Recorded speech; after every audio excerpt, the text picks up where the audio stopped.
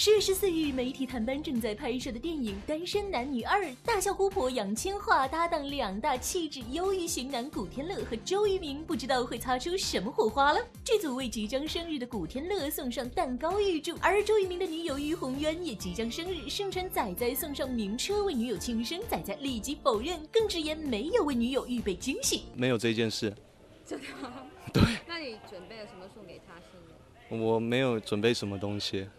那会怎样给他惊喜或者是幸福？也不知道，应该不会。对，不会跟他。对对，我喜欢生活简简单单的。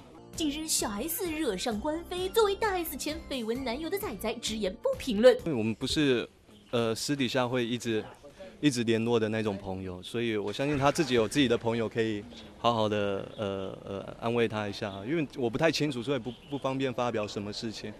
今年周渝民二度入围金钟奖竞逐视帝，经过上次的陪跑事件后，仔仔看得相当开，坦言心情平静。其实心情跟感受都很很很平静，因为